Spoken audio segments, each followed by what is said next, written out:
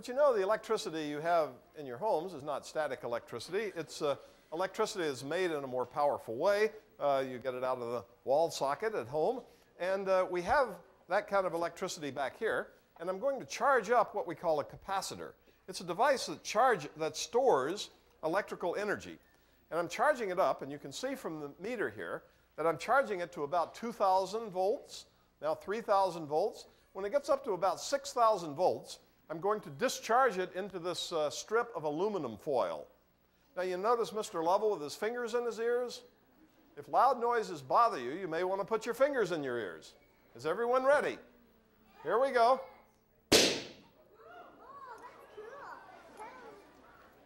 And you notice the aluminum foil is completely gone.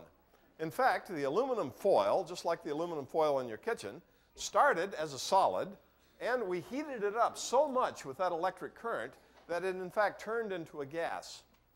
And uh, the gas uh, went over and it touched things, and one of the things it touched was this uh, plastic shield here.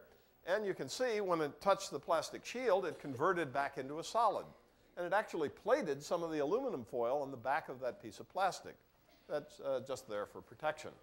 And so um, that's an example of how powerful electricity can be, converting, in that case, a solid into a gas and then back to a solid again as it uh, cooled down.